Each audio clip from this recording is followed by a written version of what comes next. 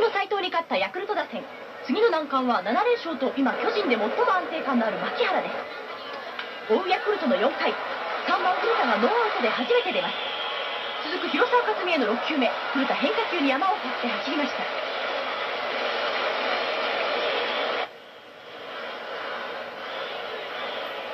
広沢。ヤクルト打線が牧原を揺さぶって同点に追いつきます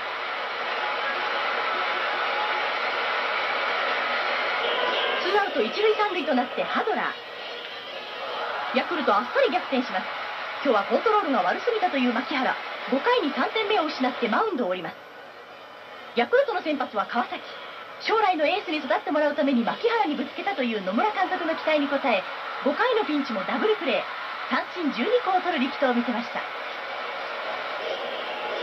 7回のヤクルト先頭のトマシノ好走塁を見せます。古田サードの守備が深いのが見えていました。ヤクルト思いのままに試合を進めます。そして昨日風で欠場したハウエルがきっちりランナーを返します。この回2点を追加して試合を決めました。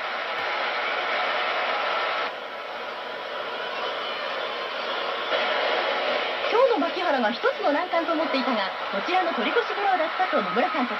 5対1で巨人を下しリーグ連覇のゴールが見え始めたようでした。柴田から昨日勝って8連勝の野村ヤクルト連覇への手応えが伝わってきます。野村 ID 野球のナインへの司令塔はキャッチャーの古田。ヤクルト2連覇の鍵を握ります。まあ、優勝争いっていうねそういう中で気楽にやるのが一番だと思うんでね。そういう意味じゃやっぱり逆に負けれないとかね、えーそういうプレッシャーに落ち潰されるっていうことが一番まあ愚かなことだと思うんで。ヤクルトの先発は山田。9日前の広島戦で16奪三振のセ・リーグタイ記録でプロ入り初完封勝利を飾りました。試合前から緊張していた山田を古田が盛り立てます。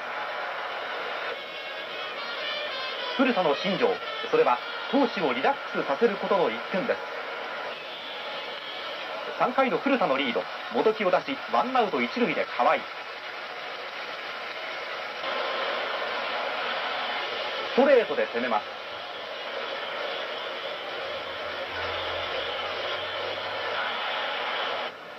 追い込んでインコースにカーブ。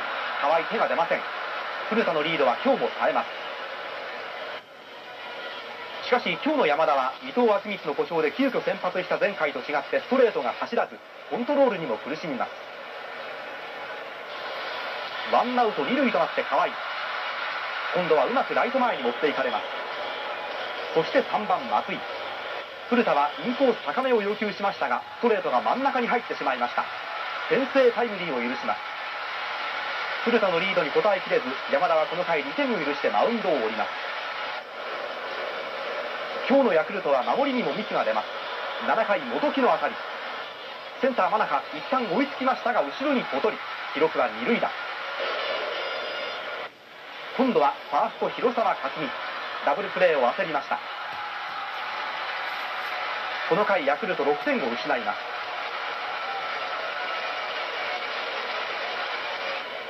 え全くいいところがないヤクルトナイン巨人2人目の橋本のこの投球で金森が起こり乱闘になります。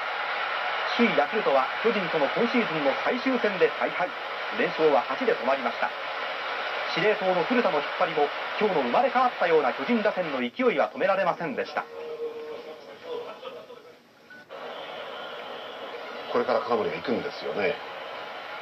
い行くということはもうファイティングポーズですからねこれ、うんうんそうなりますわこれ飲めますよね。行くなら行く行かないならはっきりしてちゃいけませんけど。なるほどね。まあそんなことい。いな勝ち運を持っていると野村監督が認める先発荒木。そんな勝負運にもすがりたくなるようなペナント争い終盤。今日の荒木は毎回のようにランナーを出しながらも緩急をつけたピッチングで要所を締めて5回を1点に抑え込みます。ところが6回ここに来て当たりの戻ってきた八木。レフトスタンドへ8号ツーランを浴び3対0阪神がリードを広げます。一方の打線は6回。戸町の古田の連打でノーアウト二塁一塁と阪神先発山崎を攻めます。ここで中村監督高騰の山崎を諦め久保にスイッチ。広沢倒れてワンアウトとなったものの5番ハウエル。弾丸ライナーの打球はそのままライトスタンド最前列へ飛び込む24号同点スリーランホームラン。ヤクルト3対3と試合を振り出しに戻します。さらに7回には隔離を攻めますが代打杉浦笘篠が倒れ追加点ならず。9回阪神2アウト3塁2塁のチャンス。ここはストッパー高津踏ん張ります。そして迎えた9回裏池山の初球。レフトへ上がったかしわずかにポールの左。試合は3対3のまま延長に入りました。そして10回高津がついに捕まりました。ワンアウト2塁1塁から6番関川が1、2塁間を破るタイムリーヒット。これが決勝点となってヤクルト痛い星を落としました。以来久しぶりに定位置。1番センターでスタメン出場のリーダー。その第1打席。早速期待に応えて中込からライト前ヒット。ヤクルトここからチャンスを広げてまず3番古田がレフトオーバーのタイムリーツーベース。1点を先制します。さらに4番広沢はセンターへ2点タイムリーヒット。続くハウエルまであっという間の5連打でワンアウトも取れないまま中込をマウンドから引きずり下ろします。早すぎるリリーフに2番手弓永も浮き足立ってしまいます。ワンアウト満塁からのスクイズをホーム悪送球で6対0 1番に戻って飯田が今度はレフトへ2点タイムリーツーベース。切り込み隊長復活を告げる大暴れ。ヤクルト初回で9対0と大量リードを奪います。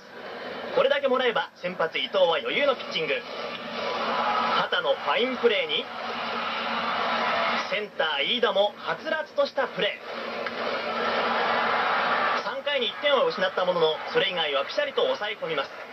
6回には広沢が8月25日以来およそ1ヶ月ぶりの22号ツーランで12点目を挙げてとどめを刺しました。明日からの中日戦を前にヤクルト文句なしの快勝です。